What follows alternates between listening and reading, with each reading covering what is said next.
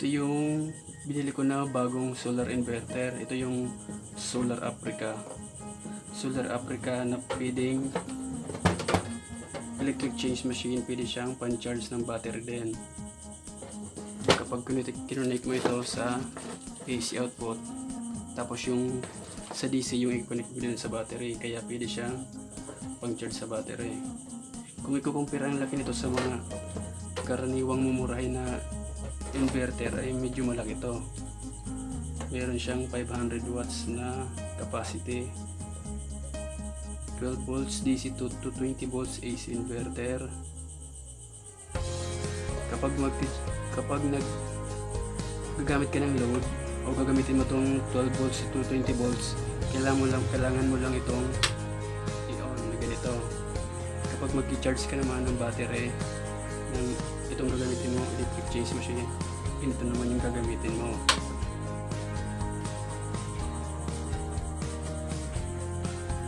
Tapos kung titingnan mo yung laki mas malaki talaga to kaysa iba. But, at kapag tinignan natin yung loob ng, loob ng circuit makikita natin medyo maliit lang yung circuit nya medyo maliit kukunti yung mga circuit. Meron lang siyang primary primary MOSFET power MOSFET. Ito ay gumagamit ng power MOSFET na N channel N channel MOSFET na P75 NF75 ito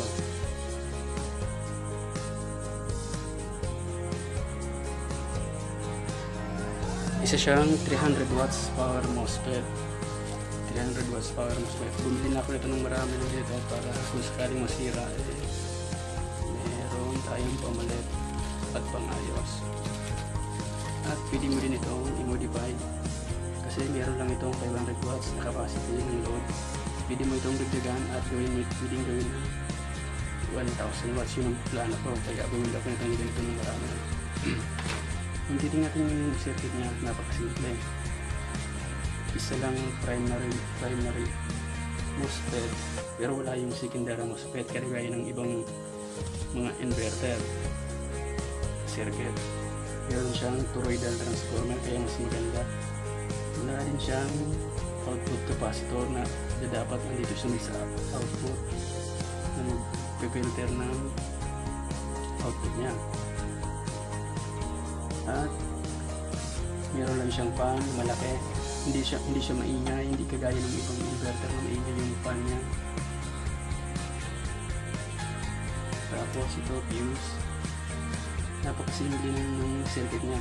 Kaya madali mo siyang ayusin pag nasira.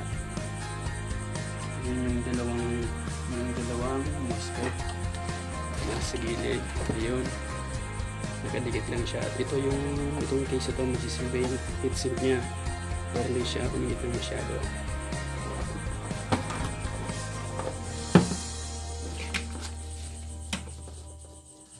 Ang inverter na to kapag naka-standby pag pinower mo siya gagamitin mo siya ng 12 volts to 20 volts. Meron siyang output na voltage na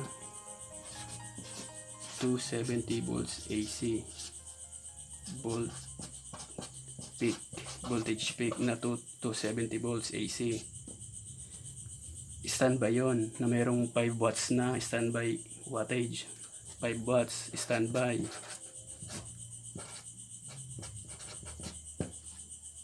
Yung wala yung load. Ayon sa pano napanood kong youtube ang mga ganitong solar inverter ang mga pure sine wave na mga inverter ang, ang circuit ay dapat may 270 volts voltage peak para ma para makuha niya yung pure sine wave na output ng isang inverter kagaya ng mga nasa linya ng kuryente. Kaya ang ibig sabihin nito itong 270 kapag minodified mo pa ito at nilagyan ng circuit ng sa pure sine wave ay kakayanan nito na mag, mag-output ng AC na pure sine wave at hindi yung modified sine wave Ngayon, siya ay naka-modified sine waves. Yung kagaya lang siya, yung parang ganito. Modified sine wave. Hindi kagaya nito.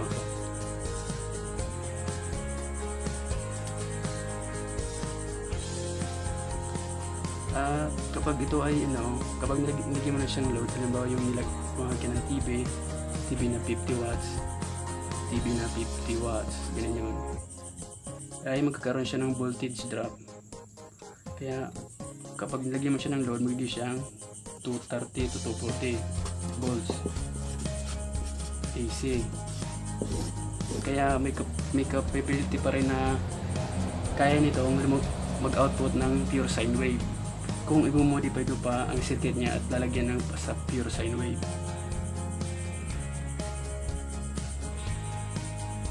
Mas maganda ito kasi ito yung toroidal. Hindi mo wala akong masyadong alam sa mga toroidal transformer. Pero alam ko mas maganda yung output niya kasi kahit hindi gumamit ng output capacitor ay na stable niya yung output na AC gaya ng mga standard na transformer ay kailangan pa ng mga malalaki yung mga mga 400 volts na capacitor para ma-stable yung output so kapag nasira man ito madali natin itong maayos pwede pa natin itong i-modify to 1000 watts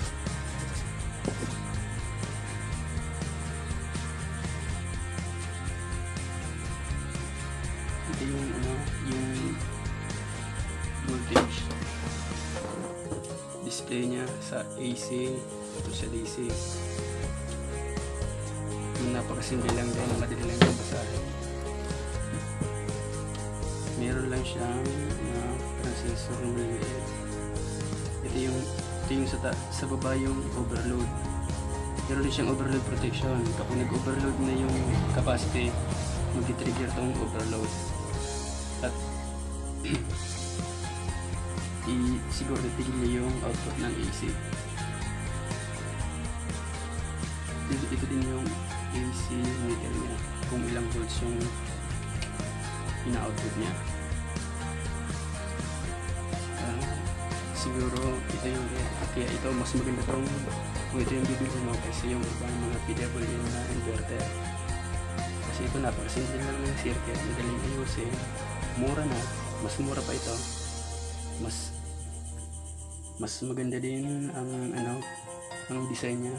Simple lang malaki at nakatoroidal pa. Kaya sa, sa mga gustong bumili ng ganito mas okay ito. At mas okay kung bumili din kayo ng mga ganitong MOSFET. Yung P75 in F75 in channel MOSFET ito ay 300 watts power MOSFET. So kaya naging itong 500 watts na inverter ay ito yung dalawa. 300 watts plus 300 watts 600 watts.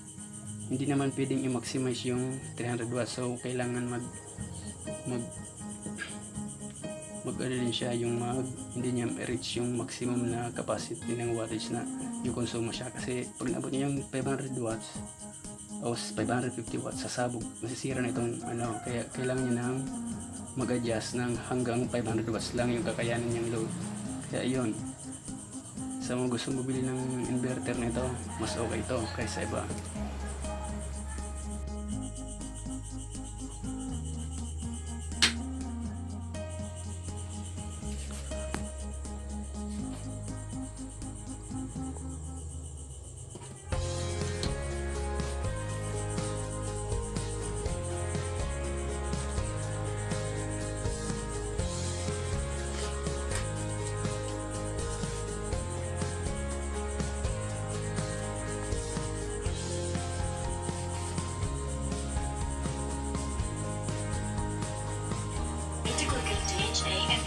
prebiotics to help raise her defenses even against respiratory infections. I help protect my child with Envigo A plus 4. Mga anak, anong gusto niyong ulam? Yung princess, ma'am! Hala, North Sinigang Mix.